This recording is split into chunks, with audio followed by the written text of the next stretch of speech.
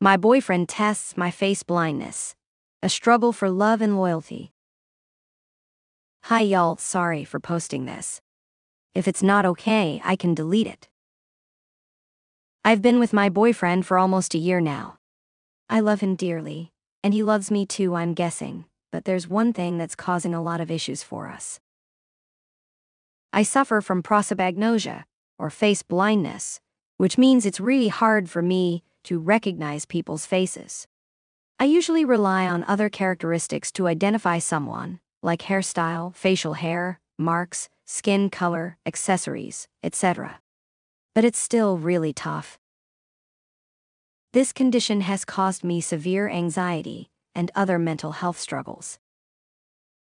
I'm lucky to have wonderful people around me who are aware of my condition and try to help. They introduce themselves when we start talking, or something they know I associate with them, or whatever. Usually, my boyfriend does this too, but sometimes he likes to test me, and it's incredibly stressful. He once shaved off his beard, a few times he wore a completely different style of clothing, or changed his hairstyle all without warning me. In those moments, he won't tell me who he is or say someone else's name, just to see if I'll figure out it's him. He'll make jokes about switching with one of his friends to see if I'll stay loyal. I usually do realize it's him, but it causes me a lot of anxiety. We've had big fights on this. He says he's allowed to change his look. I'm not a cartoon character. I ask him to warn me. Don't get me wrong. He cares about me, but I don't think he gets how stressful it is. How do I make it clear? We have a LOT of great times together, there's just this bomb. I went to talk to him, showed him this, and told him he can't do it anymore. The conversation was a lot. First, he was angry I made this post, and he was angry I was taking it all so serious. Lots of apologies and so on. He again said he was just trying to make a tough situation more light. I said it's too much. He said I can't take a joke and I need to let him be him. That he always tells me when he's been joking, and if he was really keen on hurting me, he'd just do things and not tell me so in telling proves he cares. That one got me the uncomfortable. At one point, he said he just wanted to test if it was real, because I could just be using it as an excuse to do anything. I left after that cause we were just going in circles. There was a lot of me making an issue of one small thing. I'm exhausted. He's still blowing up my phone with love and apologies, but you guys made me realize a lot. Thanks, really. I'm trying to stay rational about it, but it's hard, because I do care about him a lot. I'm gonna get a few hours of sleep. Thank you again. Relevant comments. Cheap depth 2155. He is messing with your safety, does he not realize that? OOP. I don't think he realizes how confusing it all is. There's been a moment he did the opposite acting all weirded out when I thanked him for a nice date, saying it wasn't him, and though I knew it was, I still started to doubt myself. He did say it was a joke soon after, but it caused such a panic. He hasn't done it again, but it took me a long time to feel comfortable again. Shit me could says. Making someone feel unsafe is not a joke. Gaslighting someone you care about is not a joke. Tilda. Buoval. Holy smikes, that's terrifying. Not to recognize a familiar face with a major change like that.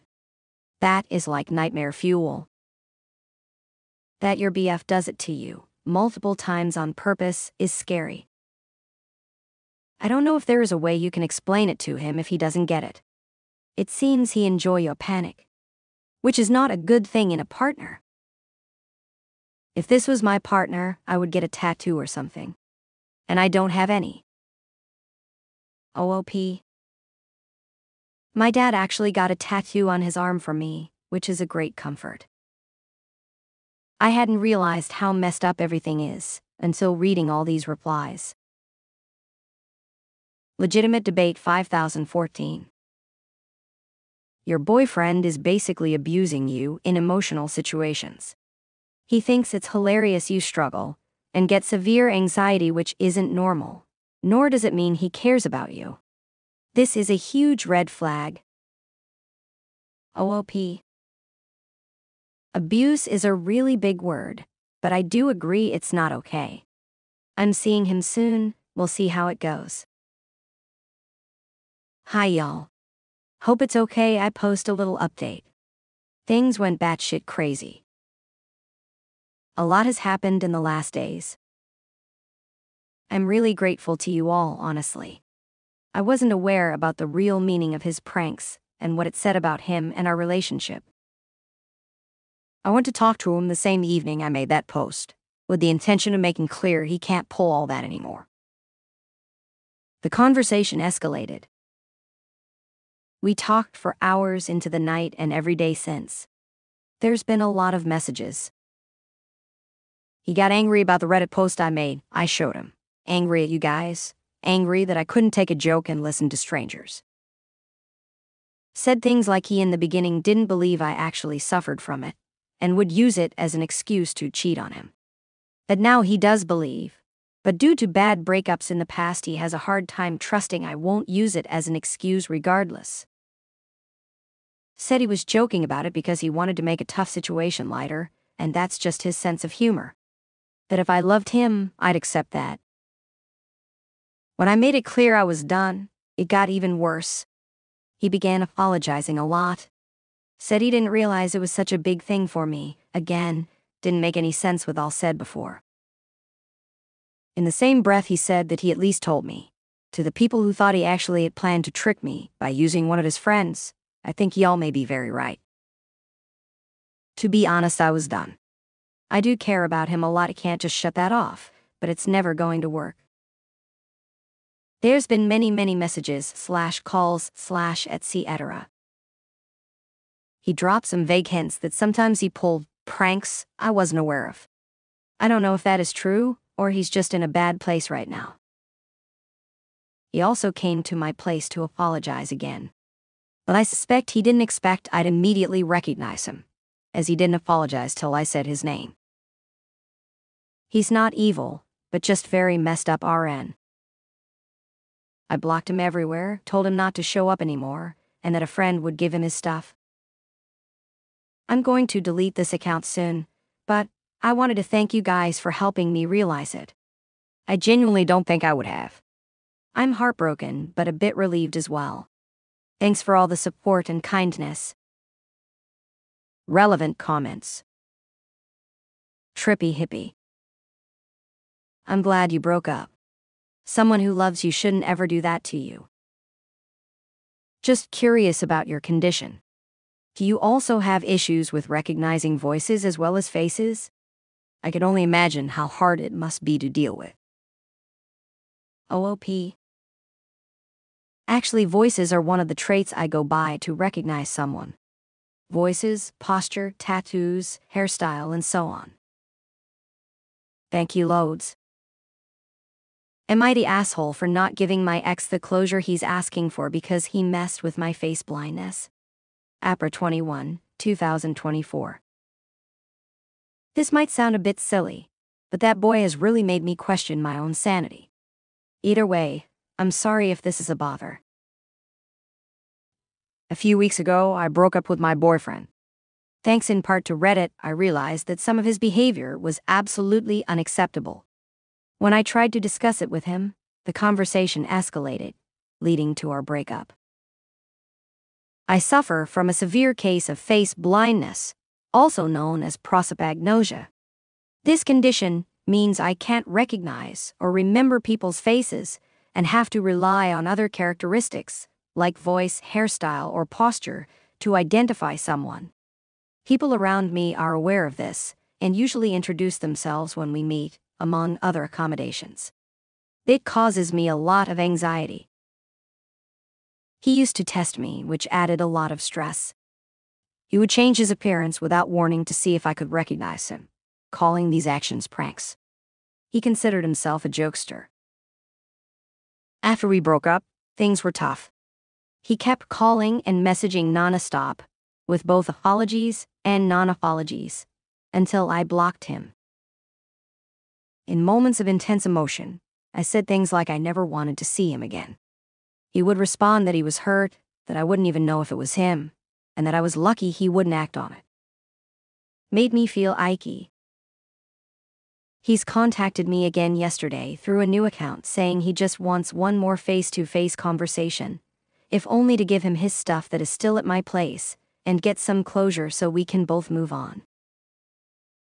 I said my plan was to get a mutual friend to bring it over to him. He was hurt. He did seem a lot more calm than before and told me we were together for a year. He just wanted one conversation after I suddenly broke things off. That he had some time to process now, etc., and that he doesn't understand how he suddenly, after a year of loving each other, became so evil. I couldn't have one chat with him. But I don't feel good about it. My gut's telling me this will not be a good conversation. My worst fears are telling me he might play a trick to prove some point. WIBTA if I don't reply anymore slash just say no. Edit. I didn't expect all these replies. I hope it's okay I respond like this. Thank you all really. I think I knew already, but somehow started to doubt myself. The past weeks have been a lot. I really appreciate and needed these words. I'm ready for all of this to be over and done with. Also, just a little thank you in general. Reddit's been a wonderful community and it's helped me a lot. Here's my previous post for who's interested. And before. Hi. It's been a wee bit, and since I'm still getting messages about this, I thought I'd just give one big update for this. So, more than a month ago, I broke up with my BF because he kept pulling pranks involving my face blindness. I can't recognize faces and am dependent on other aspects to recognize someone, and even then, it's still confusing. After that, he'd been bugging me that he wanted to meet up so we could get some closure. My gut was telling me not to, but I felt guilty. With you guys' advice and my own gut feeling in mind, I decided not to go. I asked a friend, Roger, to go bring him his stuff and kept him blocked, including blocking the new accounts he'd made. Roger came back with a letter from him to me. The letter in itself was V apologetic. He even said he was grateful for our time together and took full responsibility. It ended with him saying he'd respect it if I chose not to reply or message. Honestly, a lot of very respectful words. I still decided not to get in touch still trying to get over the breakup myself. But I did appreciate it till I found out he wasn't letting go like he said. Roger and some other mutual friends let me know he was asking them about me a LOT, if I had read the letter, if I was seeing someone else already, and so on. Couple of days ago, he showed up at my place. He was clearly not sober and V upset. He just seemed so broken, so I stupidly let him in, for a while, he was just being miserably nice while I got him water and stuff. But the more sober, the more angry he got. At that point, I messaged basically everyone I knew to call. I didn't think he'd hurt me, but I didn't feel comfortable being alone with him, regardless. Among the many accusations of me, not even having the decency to reply, that I clearly never cared about him and that I was a horrendous person, he told me I cheated on him and didn't even know it so how could I blame him for not trusting me? I'm not gonna lie. I was trying to stay calm but failed. And I know I should have not lost my cool. I screamed at him, asked him what he was talking about. Apparently, on a night out with him and others, he asked his friend Mike, who knows of my face blindness and has similar characteristics as my ex, part from a V different voice and smell, to swap out with him and kissed me. And I didn't know. I don't know if he's lying or not. But knowing I was drinking, and in a crowded, loud room, I know it's a possibility. Especially since Mike tried to kiss me another time. Though then I immediately realized it was him and lost my shit at him. When I told my then BF, he was more angry than I had ever seen him. So Ike, if that time was a plan as well or not, either way, Mike is a disgusting human. I know it's just a kiss, but it did make me feel sick to my stomach, just thinking about how they might have played me. I told him to get out, he didn't. Luckily, it didn't take long for some people to arrive and get him out. I'm endlessly grateful for the people I have around me. I'm staying at my parents' place now, took a break from work, and am looking into therapy. My mom and dad, who got a tattoo years ago just so I would never doubt it's him, are treating me like a princess and reminding me of the kindness people deserve. Haven't looked into a restraining order, but might if it continues. Thanks to you all for helping me see what's right in this situation. Reddit has been a wonderful community I am very grateful for. I probably won't update anymore, as this is over and done with. But I'm glad I got to pour my heart out to y'all.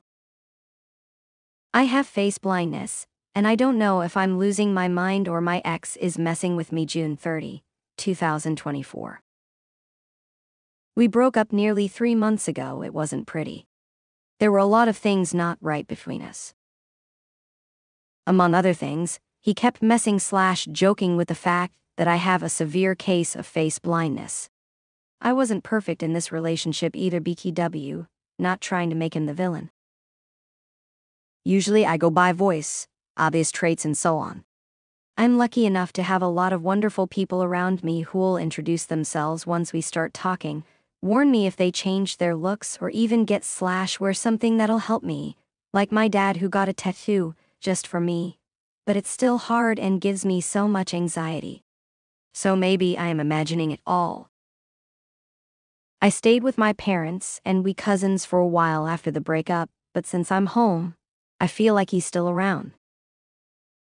The first time I went to a club with a friend and her boyfriend, I started dancing with a guy and went outside with him to get some air. The moment we stepped outside and I heard his voice, I knew it was him. I was so certain.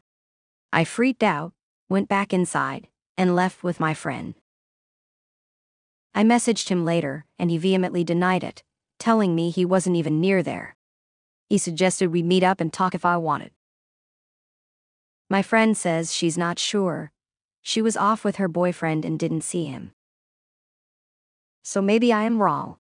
My gut says it was him, but I can't trust my brain with these things. There have been more incidents like this since.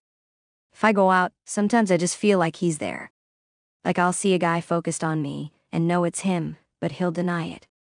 Or someone will come to my job and I'll recognize the voice, but he responds so confused, and I'll feel like a crazy person making a scene, so I just quietly give him what he needs. I'll go to the grocery store and a guy will suddenly be next to me. He won't even say anything to me, but the smell or traits tell me it's him. But then later, he denies it all. It's not every day or something. Once a week, maybe not even that, but it's enough to make me feel so on edge. The thing is, I could be wrong. Maybe it was never him.